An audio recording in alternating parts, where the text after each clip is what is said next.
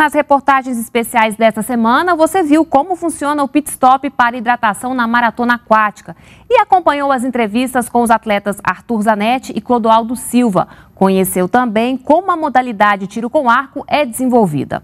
Agora vamos rever a história do campeão olímpico de hipismo Rodrigo Pessoa e como foi a participação dele nos Jogos Olímpicos.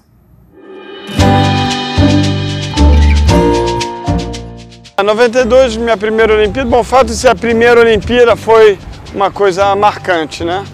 Depois, é, 96, a primeira conquista da medalha de bronze. Eu tenho que fazer zero para poder conquistar essa medalha. Foi um fato muito marcante. Depois, é, 2000, contra a performance na prova individual. 2004, ganhar a medalha, medalha de prata. Depois de tudo que tinha acontecido, foi realmente importante. 2008, disputar o desempate para a medalha de, é, foi prata e bronze, é prata e bronze. Foi um momento, momento intenso também, que eram sete concorrentes para disputar uma medalha. 2012 não foi uma, uma boa Olimpíada, fora ter carregado a bandeira na, na, na, na cerimônia de abertura, que foi, obviamente, foi um momento muito forte, mas foi fora de competição. O Carl Lewis, em Los Angeles, a minha primeira, assim, memória, memória olímpica. Eu acho que ele ganhou, não sei, três ou quatro, três ou quatro medalhas de ouro. Um fato marcante foi a final individual de 88, que foi a última final que foi é, no estádio olímpico, no estádio, no estádio olímpico, é, no último dia, quando o francês Pierre Durand com o Japelu ganhou. Foi assim a Olimpíada que mudou o tipo de armação, os obstáculos eram realmente muito coloridos, muito bonitos. Foi na, na Coreia, a decoração da pista tava, era realmente bonita e foi um fato para mim assim que foi bastante, bastante marcante. É.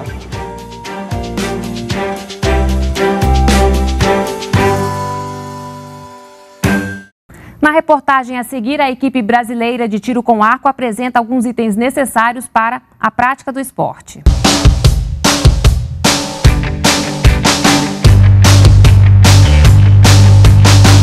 Cada atleta tem o seu material, ele não pode manipular ou pegar o material de qualquer outra pessoa, porque coisa de milímetros é, é, muda completamente a, a forma como o atleta vai atirar essa flecha de uma atleta do feminino. E esse pin, esse nó aqui, ele é o que fixa na corda. Ele não pode tocar na flecha, como a gente costuma ver nos filmes, né? Ele vai pegar de uma forma que o dedo vai ficar assim. Aljava, se o atleta quiser ter uma azul, uma verde, uma amarela, colorida, com nome, sem nome, isso aí é muito pessoal. Tudo tá aqui o protetor de braço, que ele é colocado dessa forma, aqui, né, preso pelos elásticos. Na hora que atira, em algumas situações a corda pode resvalar e ela machuca mesmo, porque é uma chicotada. Outro item bastante utilizado é a bebeira, ele puxa a corda e a hora que ele puxa faz esse movimento aqui. Um outro item também que é de muita segurança, no caso, seria a peiteira. Então ele fixa, né, a hora que a corda, você solta a corda, então não tem nada que de repente possa é, atrapalhar o movimento da corda. A primeira coisa do arco é o handle. O handle é onde é que vai ser, onde a pessoa pega no arco. Dentro do handle tem um rest, onde tem um apoio da flecha. Quando a flecha passa, ele fecha para a flecha passar o mais limpo possível. A mira é, ela é toda de micro regulagem. Aqui nós temos um ponto de mira que é onde é que vai ser colocado no alvo para fazer o disparo. A lâmina é que absorve toda a força que vai ser transferida para a flecha. Dependendo da potência da lâmina, você vai ter uma flecha mais dura ou mais mole. A principal função do estabilizador é manter o arco parado. Você regula, vai colocando peso e pronto para você para o tiro ficar mais parado. Além de absorver vibração. Se a pessoa é muito grande, ela vai usar um arco maior. Principalmente para quando você puxa o ângulo da corda não ficar muito fechado. Então assim, é muito importante ter a relação de lâmina, corda e flecha ideal para cada arqueiro.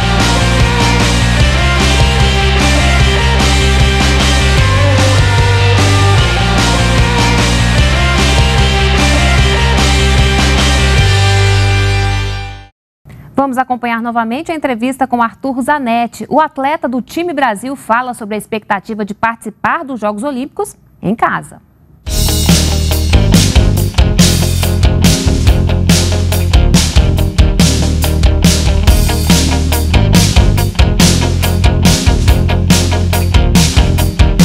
O esporte no Brasil vem aumentando. Você pode ver em questão de títulos, resultados, e a gente está percebendo isso agora nesses campeonatos mundiais desse ano, do ano que vem, e espero nas Olimpíadas também. Todo atleta vai buscar o seu melhor, buscar o melhor resultado que é o ouro, é, tanto pessoalmente também quanto para o povo brasileiro que está prestigiando um, nas Olimpíadas em casa. Sempre tenta buscar novas alternativas, né? Geralmente quando a gente está indo para competição a gente ouve uma música. E também eu gosto de, de ler é, livros de autoajuda, né? Geralmente é, de atletas ou ex-atletas, técnicos.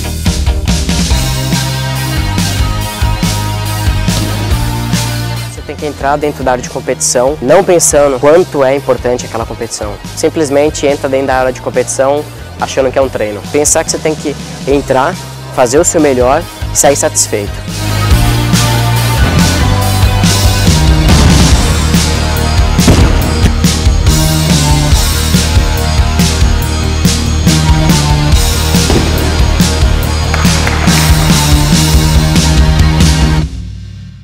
Saiba agora como funciona a pausa para a hidratação na maratona aquática. As estações são uma espécie de pit stop, mas com uma diferença muito importante. O atleta tem que continuar nadando.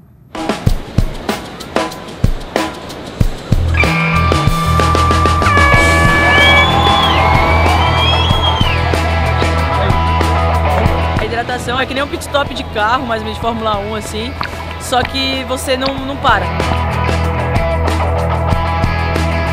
Cada atleta coloca dentro da sua hidratação aquilo que ele combinou ou que ele já testou com o seu nutricionista. Geralmente esse alimento ou é líquido ou ele é pastoso. Ele é uma reposição hipercalórica, um tipo de energético. Aqui é, é água salgada, né? Então a gente sabe que precisa de um pouquinho mais de água do que de carboidrato. Vou dar o exemplo da Ana Marcela, vamos dizer assim, é 70%, 80% é água. A gente vem no nado de crawl, a gente tira do suporte que a gente faz e aí a gente vira de costas, com uma mão continua dando de costas e com a outra bebendo. A gente tem uma, uma vara de, de, pescar que a gente faz né, uma, um improviso na, na ponta, a gente coloca um pote, o meu é rosa, então assim eu consigo destacar em relação aos outros no momento da hidratação. E a segunda coisa é que a gente combina também uh, o local que ele vai ficar, se vai ficar mais no começo ou mais no final do pontão, eu sempre prefiro mais no final. Foi colocado é, caiaques na prova com rede e passam logo após que o pelotão passa da hidratação recolhendo a garrafinha para não ficar no mar, para não ficar uma coisa ecologicamente incorreta. Cabe ao atleta decidir se ele vai hidratar com a vara, com a garrafinha ou se ele vai hidratar com o sacolé. Caso ele durante a hidratação seja atrapalhado ou não consiga é, se hidratar de maneira correta, ele pode pegar o sacolé que fica junto a ele no corpo dentro do maiô caso aqui, que vão ser quatro voltas, ele vai poder se hidratar no máximo três vezes. Depende da estratégia dele e do técnico também. De repente ele pode fazer as duas últimas voltas sem se hidratar para tentar desgarrar do grupo. O mais difícil no mar é isso, são as ondulações que vai implicar um pouco, né? Mas a gente tem que tentar e tem que conseguir fazer bem feito isso aí. E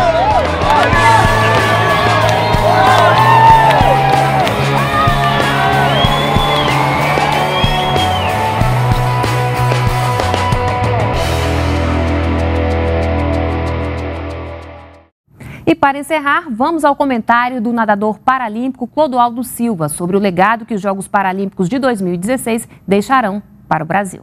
2016 vai ser minha última Paralimpíada. A cada dia que passa, é menos um dia que para começar os Jogos. E por tudo isso, pela questão de estar tá me aposentando em 2016, pela questão de saber da importância dos Jogos Olímpicos e Paralímpicos no Rio de Janeiro ir para o Brasil é uma ansiedade muito grande, porque muito se fala num legado após os Jogos, legados estruturais de grandes estádios, de grandes complexos esportivos. Mas eu acho que o grande legado, principalmente nos Jogos Paralímpicos, é o depois, que é a questão social, que é a questão cultural, a questão educacional. Então eu sei da minha importância, eu sei da importância dos atletas paralímpicos e nós estamos treinando muito para poder chegar lá e fazer a maior e melhor campanha de todos os tempos. Mas eu estou aqui por um motivo muito especial, que é para convidar todos para estarem presentes nos Jogos Olímpicos e Paralímpicos, para vocês poderem ver essas medalhas aqui mais de perto. Então convido todos vocês, galera.